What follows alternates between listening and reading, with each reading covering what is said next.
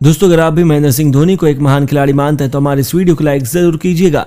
दोस्तों, कोलकाता को कुचलकर चेन्नई ने दर्ज की ऐतिहासिक जीत तो खुशी से उछल पड़ी साक्षी धोनी।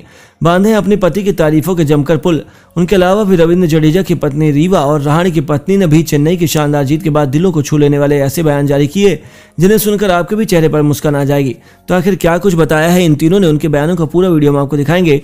लेकिन उससे पहले आपको क्या लगता है, महेंद्र सिंह धोनी और अजिंक्य रहाणे में कौन था चेन्नई की जीत का असली हीरो? हमें नीचे कमेंट करके ज़रूर बताइए। दोस्तों, ईडन गार्डन्स के मैदान पर जहाँ पीला समंदर उमड़ पड़ा था, हर तरफ़ केवल धोनी धोनी के नारे सुनाई दे रहे थे। वहीं महेंद्र सिंह धोनी की पलटन ने राज किया नीतीश राणा ने चेन्नई को पहले बल्लेबाजी करने का न्योता दिया था, लेकिन यह फैसला उन्हें ज़िंदगी भर के लिए कई करारे जख्म दे गया। जी हाँ दरअसल चेन्नई ने अपने खौफनाक बल्लेबाजी के दम पर बीस ओवरों में 235 रनों का ऐतिहासिक स्कोर खड़ा किया, जिसमें रहाणे और शिवम दुबे की तूफानी अर्धशतक पारियाँ शामिल थी। दोस्तों, इतना बड़ा स्कोर देखकर ही उनके पसीने छूट गए थे, और कोलकाता के फैंस को तो अपनी हार तब नज़र आने लगी, जब वेंकटेश अय्यर और नीतीश राणा भी सस्ते में चलते बने। हालाँकि जैसन रॉय ने अपनी टीम की वापसी करानी चाहिए। उन्होंने मात्र छब्बीस गेंदों पर पाँच भयावह छक्कों और पाँच चौकों की बदौलत इकसठ रन बना लिए थे, लेकिन इतना काफ़ी नहीं था। तीक्षणा ने उन्हें क्लीन बोल्ड किया, जिसके बाद तो आंद्रे रसेल कोलकाता की जीत की आखिरी उम्मीद थे।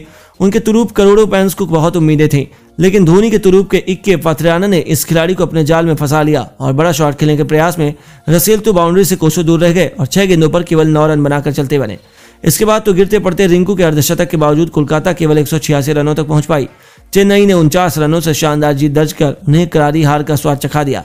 वहीं चेन्नई के शानदार जीत के बाद तो साक्षी धोनी की खुशी का ठिकाना नहीं है, उन्होंने मुकाबला खत्म होने के बाद कहा, अब तो मुझे यह देखने की आदत हो चुकी है। आप ग्रेट है माही। आप कैसे चुटकियों में मुकाबला पलट देते हैं समझ पाना। आज भी लोगों के बस की बात नहीं है। आप केवल मेरी नहीं, बल्कि चेन्नई और पूरे भारत की शान है। अभी सभी आपसे बहुत प्यार करते हैं। अब यही प्रार्थना है कि एक बार फिर आप आईपीएल 2023 को चैंपियन बनाए। तो वहीं दोस्तों, इस शानदार जीत के बाद रविंद्र जडेजा की पत्नी रीवा का भी दिलों को छू लेने वाला बयान सामने आया है। उन्होंने कहा कि महेंद्र सिंह धोनी भारतीय बाद दिग्गज हैं, जिनकी बराबरी कर पाना ना ही वर्तमान और ना ही भविष्य में किसी के लिए संभव हो पाएगा। वह केवल मेरे नहीं, बल्कि करोड़ों भारतवासियों के आदर्श हैं। उम्मीद है कि महेंद्र सिंह धोनी एक बार फिर से नए को आईपीएल चैंपियन बनाएँगे और सभी को जीत के लिए बहुत बहुत बधाई। तो वहीं इस मुकाबले में man of the match, Ajinkya Rahane की पत्नी राधिका का भी चेन्नई की जीत के बाद बेहद शानदार रिएक्शन सामने आया है। उन्होंने कहा कि आज मैं जितनी खुशियों से ज़ाहिर कर पाने के लिए मेरे पास शब्द ही नहीं है। इस दिन का मैंने न जाने कितने लंबे समय से इंतज़ार किया था। वेल प्लेड रहाणे, मुझे आप पर गर्व है। मेरी यही प्रार्थना है कि आप ऐसे ही शानदार फॉर्म जारी रखें और धोनी के साथ मिलकर चेन्नई को आईपीएल चैंपियन बनाएँ।